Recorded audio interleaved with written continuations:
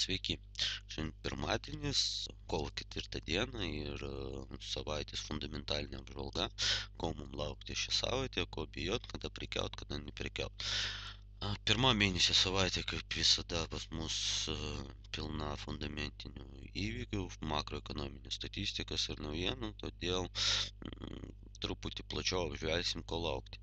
Taigi šiandien jau kaip tokios visos praktiškai naujienos pas mus.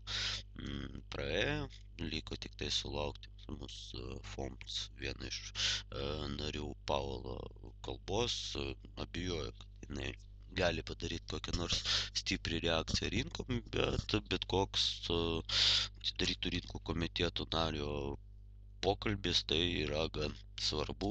Iš jų kalbų galim padaryti išvadą, ką jie masto, ką jie priiminės šį mėnesį per posėdį ir už ką balsuos. Taigi gan įdomu paklausyti, nors pasakysiu tiesiai, pats niekada jų kalbų neklausau, tik tai po tos antraukos skaitau. Toliau naktį 2.30 pas mūsų Australas retail sales, tai pardavimai privatūs, taip, laukiame teigiamą naujieną, gali, žinokit, padaryti mm, gan didelį įtaką, taip, nes Australijos pas mus mm, ekonomika buvo mm, jau minusinė praeitą kartą reikšmė jo ir dabar teigiamą laukiam. Kas matė grafiką, Australas krenta, tai tokia optimistinė naujiena, jeigu jinai išeis, kad prasidėjo vėl normalūs pardavimai, tai gali įtak, padaryti įtakos Australijos doleriui. Ir toliau 5.30 pas mus buvo linksma naujiena, palūkanų norma, taip, žada, kad pakeitimų nebus, aš irgi galvoju, kad pakeitimų nebus, bet palauksim naujienas, pažiūrėsim. Taigi, kas prekiauja naktį su Australu, Zelandu, patarčiau šią, šią naktį susilaikyti nuo prekybos arba jau konkrečiai prekiauti per palūkanų normą. Bet atkreipkite dėmesį, kad iškart po palūkanų normas bus e, Australijos centrinio banko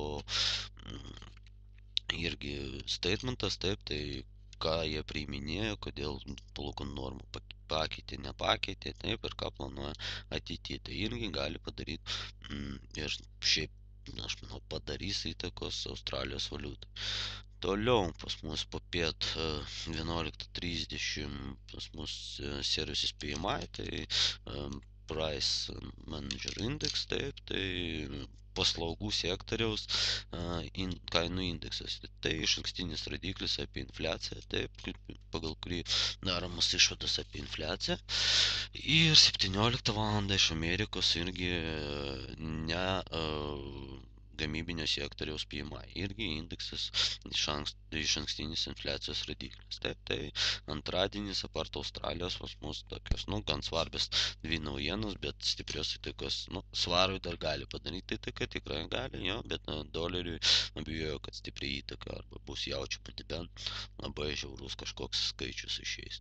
Uh, visą dieną kafin meetings, taip, matom oranžinė spalva, mm, gan svarbus e, Europos ekonomikos e, ir finansų ministrų susitikimas, bet kaip žinom, per pastarosius metus jie susirinka pašneką, bet jokių sprendimų nepriiminėja.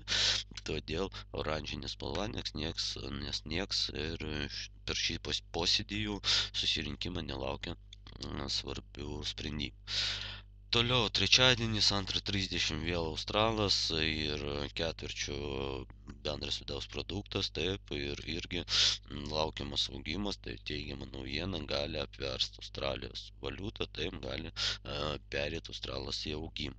11.5 Kingas tai Anglijos centrinio banko vadovas šneka, taip, 15-15 IDP Non-Farm Employment Changes. IDP tai viena iš stambiausių mm, įdarbinimo agentūrų Amerikoje ir pagal jų naujas, nu, ta statistika taip daromas, išvadas standartiškai apie artėjantį Amerikos bedarbystę, taip ir naujų darbo vietų sudarimą bendrai Amerikos ekonomikai. Toliau 16 valandą matom Kanadoj svarbios naujienos, palūkanų norma ir centrinio banko irgi statementas, taip, kas prekiauja su Kanada, saugokitės, nes dažniausiai į šitą naujieną reaguoja Kanadas apie 100-150 punktų, nesvarbu keičiama palūkanų norma ar ne, dažniausiai reaguoja į statementą tą centrinio banko, taip. Toliau trečiadienis gan ramus ir iš Europos pusės, ir iš Amerikos pusės, apart 15-15. Taip, 15-15 perlaukiam tų mm, ADP e, duomenys, taip ir toliau galim prekiauti ramiai. 21 valandą Beachbook, tai balansinė arba biudžeto knyga, taip irgi gan svarbus dalykai gali būti, bet e, po sekvestrą abejoju, kad kažkokios naujienos čia bus. Taip. Mm, ketvirtadienis, antrą 30. Matom, prekybinis balansas Australijoje, taip, prognozuojamas blogas prekybinis balansas, kad padidės, padidės importas, taip, sumažės eksportas. Australija, kaip eksporto šaliai, nu, gan blogas naujienos, gali padaryti įtaką Australijos doleriui. Taip, toliau, e, kažkur viduje nakties bus Japonijos palūkanų normą, taip, ten jokių pasikeitimų nelaukiam, bet labai svarbi tai bus BOI preskonferencija, tai Japonijos centrinio banko preskonferencija ir tai greičiausiai bus paskutinė preskonferencija prieš Japonijos centrinis bankas pakeis savo vadovą. Įdomu, kokį palikimą paliks dabartinis centrinio banko vadovas, naujam sekančiam. Taip. Toliau matom Šveicarijos bedarbystės reitingas, taip, 3-1, abejoju, kad ten kažkas gali padaryti įtakos Šveicarijos frankui, nebent čia žiaurus skaičius, tai irgi nėra tam kažkokių požymių iš ankstinių ir toliau matom 10 valandą užsienio valiutų rezervai Šveicarijos centriniam banke, taip, ir e, Jordanas, tai bus pas mus 11 val. Šveicarijos centrinio banko vadovas m, kalbės. Ir čia gali, aišku, padaryti įtakos Šveicarijos frankui, m, ypač jeigu pradės šnekėti apie tai, kad, nu, euro, euros frankas vėl pasiekė tam tikrų lygių apačioje ir Jordanas gali pašnekėti, kad vėl m, bandys atpiginti franką euro atžvilgiu. Taip. Toliau kažkur tai viduj dienos e, bus Ispanijos obligacijų platinimas dešimtmečių, taip, gan svarbi naujiena fondinė rinka ir gali padaryti, jeigu blogas bus talpinimas to obligacijų, gali padaryti euro, e, euro neigiamą įtaką, euros kris. Taip.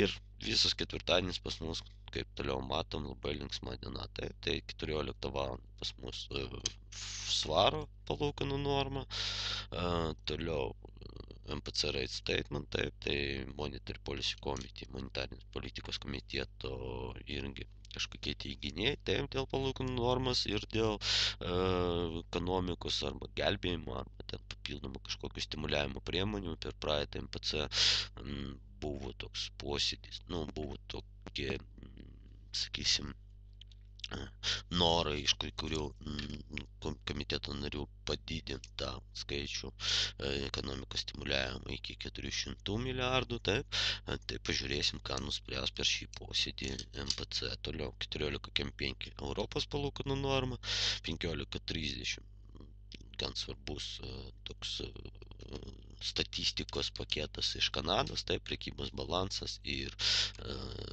naujų statybų leidybos tai per metus ataskaita ir 15.30 toliau turim iš euro centrinio banko preskonferencija iš Amerikos e, prekybos balansas, taip e, naujų pašalpų bedarbiam gauti paraiškos, taip, tai 15.30 bus linksma ir kažkur tai preskonferencija Europos centrinio banko apie valandą truks, tai iki kažkur 17 valandos patarčiau susilaikyti nuo prekybos pagal techninę analizę ir grinai prekiauti fundamentaliai.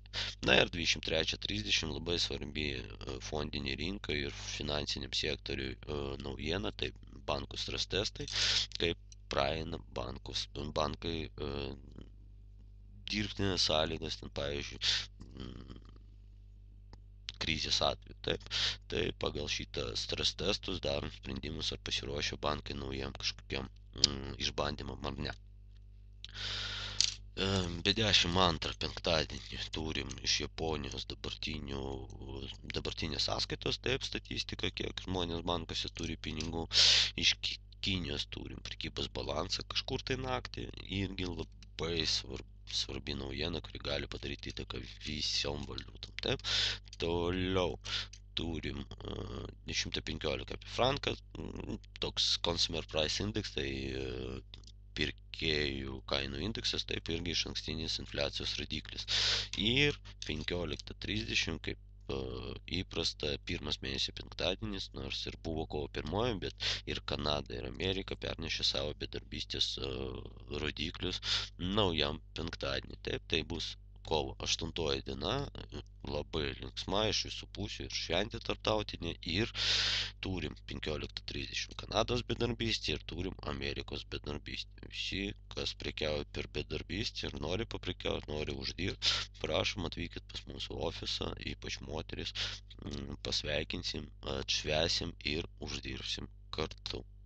Tai iki kito pirmadienio, kitą pirmadienį darysim ir vėl fundamentinių įvykių apžvalgą, o e, kas nori techninės analizės pažiūrėti, taip, taip, rytoj kažkur tai po piet ieškokit e, techninio analizio apžvalgų.